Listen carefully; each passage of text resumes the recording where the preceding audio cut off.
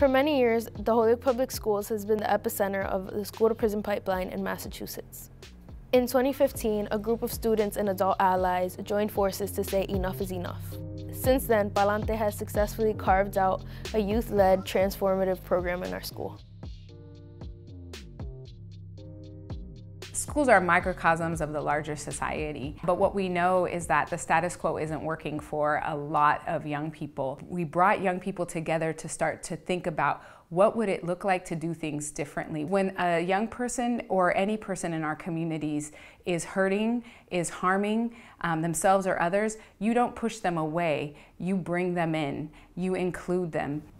A lot of people ask us how we're able to work to try to transform the system when we're so much a part of it. We have to walk a very thin line of trying to build strong relationships um, with folks that we may have major philosophical differences with. Sometimes, honestly, that results in us feeling complicit in systems that we know are harming students. At the same time, we think it's strategic to be based in the school.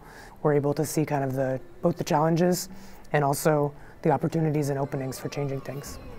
The students are here every day experiencing these various types of injustice, um, being surveyed in the school, being treated differently by their teachers. One of the things that that Pa'lante seeks to do is to address that from within the very setting where students are located on the day-to-day. -day. Transformative justice work is engaging in the community in repairing harm, in um, building stronger relationships, but then getting at the deeper root of the issues. How are the institutions that we're operating in in our communities making it difficult for young people to know how to negotiate conflict?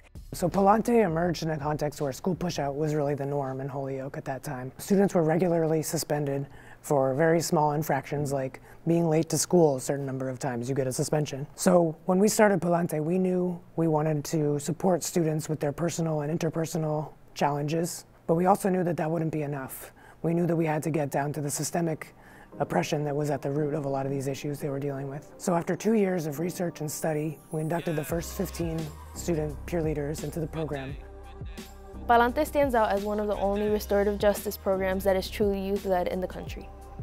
Within a few years, uh, we had significantly dropped the suspension rate. We had an engaged group of young people leading the work and really trying to not only um, support young people during the school day, but, but think about how are we going to uh, create change at the classroom level, at the curricular level. What I like most about the program is the fact that it's really student-led and student-driven. So the values of the program aren't something that is from the top down, like adults telling young people that this is the program, these are the values, this is the work we should be doing, but like from the bottom up, the students themselves, based on personal experiences with the school system, with teachers, with educators, turning that frustration into energy in a program that has now made a really substantial difference in the way that issues and conflicts are handled.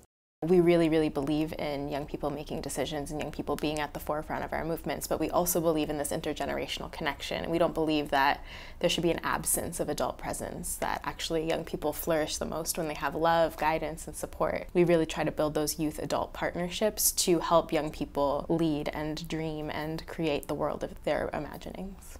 Another secret to our success is that we really try to build in structures into our program that support their leadership at every level. So there's always another opportunity to grow and develop as, as a leader. As Pa'lante peer leaders, we use circle practice to support our school community.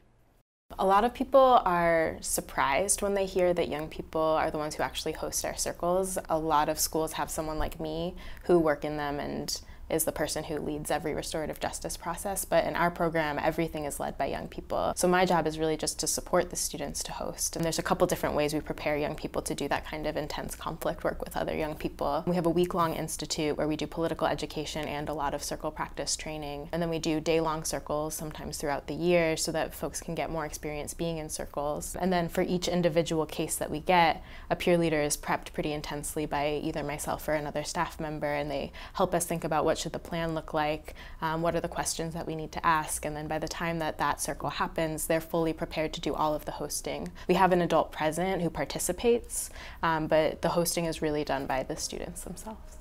Meeting all the new people that walk through the door, just seeing them and talking to them and talking through their problems. It doesn't I don't only help them, but I help myself in a way because like sometimes I'm going through similar situations and it like I reflect on myself.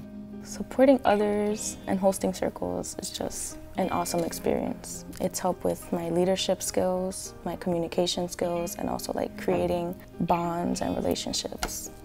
Another way that we develop leadership is through a youth participatory action research project that we do each year. Through YPAR, we learn to identify problems in our community, develop a deeper understanding of the problem, and then do something about it. The YPAR projects have impacted me because like, they give me a different view on how things work in our school. And I just think it's important because if we don't make the change, who's going to do it? We need to get up, speak up, and make a change. Through YPAR a few years ago, we focused on the in-house suspension room, which was called the student support room, but it wasn't really supportive. Before it was transformed, it, was, it seemed more of a prison. Like the, the desks were in rows and columns. Now, three years later, we have a very positive space with a full-time coordinator, several social work interns, and an AmeriCorps member. Now it's like really lively. We have plants everywhere, we have colors, and we have artwork made by other students. A student support room provides like a really nice space for us to hold our meetings. Um, it gives us a space that uh, students feel comfortable and we can um, support them emotionally and mentally in all sorts of ways. Peer leaders can sign up to be basically an intern or a TA in the student support room. They provide one-on-one -on -one, uh, support to students, whether it's academic or emotional. And they also just help manage and run the space. I love giving back to my community, like letting my peers know that they have a helping hand. That's something that I wish I had when I wasn't a teacher's assistant. We also have other structures in place to develop our students as leaders. The Youth Advisory Board is a rotating group of about five students who meet with me every week to make important decisions about the program and plan all of our larger meetings. The Youth Advisory Board helped us create this alumni fellowship program. Young people who do end up graduating or do end up getting, like leaving and having a life outside of high school can still stay engaged in the program. Um, with young people, there's kind of this cascading mentorship model that happens um, where I'm able to give a lot of support to our fellows and then the fellows are then able to give a lot of support. We're able to reach more students actually. So instead we've tried to build this, build this leadership pipeline rather than a school to prison pipeline. Hopefully one day um, me and Luke can leave this program and it'll be in the hands of former peer leaders. Being an alumni fellowship has given me a lot of great things, a lot of benefits, a lot of skills, especially life skills, communication skills. I also noticed the injustices that happen in the school community and Holyoke community. But instead of being a bystander, I now fight against them. Even though we're based in a school, we know that it's also important to be connected to our larger community. This is why last year we started our Community Advisory Board. Our CAB provides both students and staff with support and guidance. We run uh, the CAB just like they run their circles, and so I think it's bringing that knowledge into the community because the CAB isn't, they don't meet here in the school system, they meet out in the community.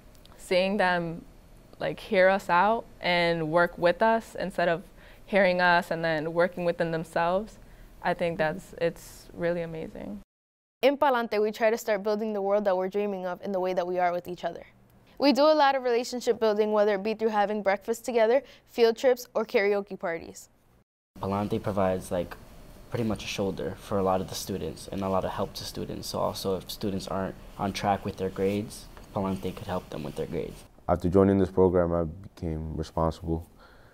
I've stepped up my schoolwork. I I would have never thought I would go into college.